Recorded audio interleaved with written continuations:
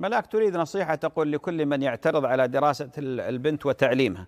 آه، ملاك بارك الله فيك الشريعة ما منعت تعليم البنات وتدريس البنات أبدا بل أيدت ذلك. ولذلك آه، الصحابيات الجليلات تعلمنا وتفقهنا ونشرنا العلم والخير.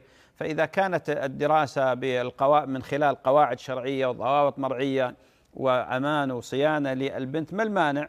ما المانع؟ أما إذا كان لا دراسة البنت ستذهب وتدرس بما يعرض دينها وإيمانها وعقيدتها وأخلاقها للخطر هذا للأهل الحق الكامل في هذا.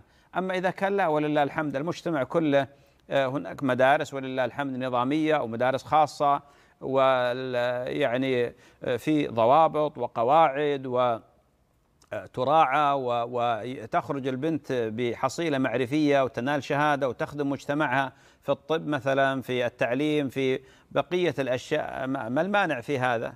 لابد حقيقة أن ينتبه الناس إلى مثل هذا الأمر والشريعة تدعو إلى العلم ولله الحمد.